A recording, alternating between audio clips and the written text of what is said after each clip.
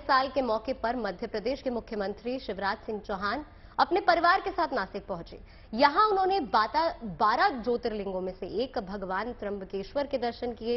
इस दौरान मुख्यमंत्री के साथ उनकी पत्नी और दोनों बेटे भी मौजूद रहे, जहाँ उन्होंने भगवान त्र्यंबकेश्वर से देश प्रदेश की खुशहाली और शांति की कामना की।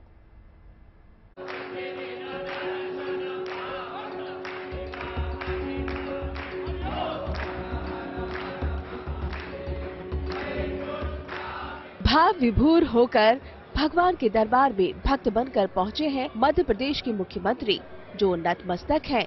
नासिक के त्र्यंबकेश्वर मंदिर में यहाँ मुख्यमंत्री शिवराज सिंह चौहान ने अपने परिवार के साथ पूजा अर्चना की। पत्नी साधना सिंह चौहान, दोनों बेटे कार्तिकी चौहान और कुणाल चौहान साथ रहे। त्र्यंबकेश्वर दरबार से सीएम शिवराज सिंह ने देश और प्रदेश वासियों की खुशहाली की कामना की। सीएम शिवराज परिवार के साथ आरती में शामिल हुए। उन्होंने अपने दोनों बेटों के साथ त्र्यंबकेश्वर ज्योतिर्लिंग पर जलाभिषेक भी किया। हमारे प्रधानमंत्री जी के नेतृत्व में एक वैभवशाली, गौरवशाली, संपन्न, समृद्ध और शक्तिशाली भारत का निर्माण हो रहा है।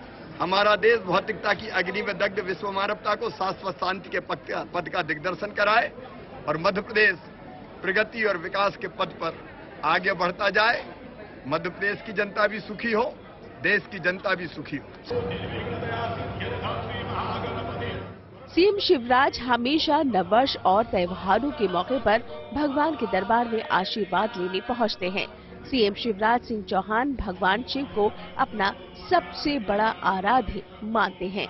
भगवान के प्रति उनकी ये गहरी आस्था और भक्ति भाव विभोर कर देती है।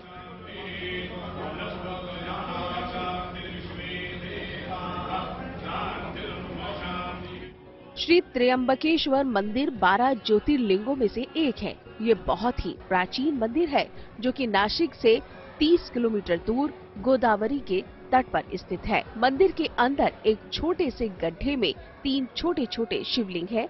ये तीन शिवलिंग ब्रह्मा, विष्णु और शिव के नाम से जाने जाते हैं।